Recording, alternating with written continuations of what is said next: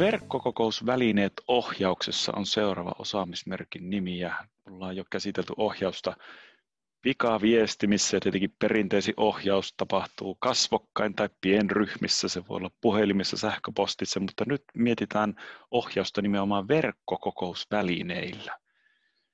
Ja ollaan edelleenkin tuolla oppimisen ja opettamisen ja ohjauksen kentällä. Tiiu, mistä tässä on kysymys?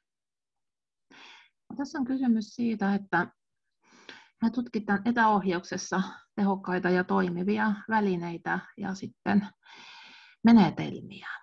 Ja ohjauksessahan on hyvin keskeistä vuorovaikutus ohjattavan tai ohjattavien kanssa. Ja, ja sitä tukevat sekä ääni, videokuva ja sitten mahdollisuus jakaa sisältöä. Ja ohjaustilanne voidaan myös tallentaa tarvittaessa ja asioihin voidaan palata. Nämä verkkokokousvälineet sinänsä ovat kehittyneet tosi nopeasti. Jotkut niistä ovat todellakin monipuolisia, eli niiden sisälle voi rakentaa valmiiksi ohjaustilanteen materiaaleihin. Mutta nyt viime aikoina ovat kuitenkin yleistyneet sellaiset nopean toiminnan verkkokokousvälineet, jotka ovat yksinkertaisia, niihin ei voi paljonkaan valmistella, esimerkiksi vaikka Zoomi, eli niiden osalta sitten taustamateriaali, mitä tarvitaan ohjauksessa, niin pitää luoda johonkin vaikka Driveen, tiedostojen jakopalveluun. Sinänsä verkkokokousvälineiden toimintaperiaate on aika yhtenevää. Kun ottaa haltuun yhden, niin osaa käyttää muitakin. Mutta nyt tässä osaamismerkissä, niin keskeistä on pohtia, että kun tämän ohjauksen osaamismerkki kuitenkin, että mikä on ohjauksen tavoite, millä välineellä se toteutuu parhaiten ja onko sitten se väline soveltuva yksilö- ja tai ryhmäohjaukseen.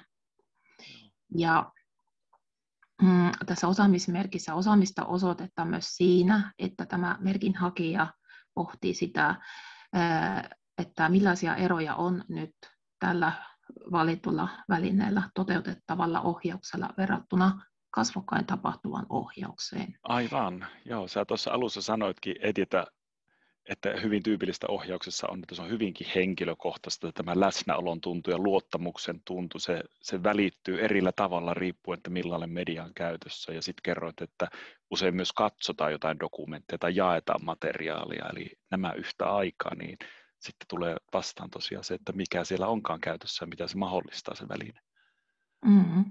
Ja sitten jos niin miettii sitä kamerakuvan käyttöäkin, niin sitä voi, voi sitten pohtia, että onko tässä kyseisessä ohjaustilanteessa kamerakuvalla lisäarvoa tai ei ole.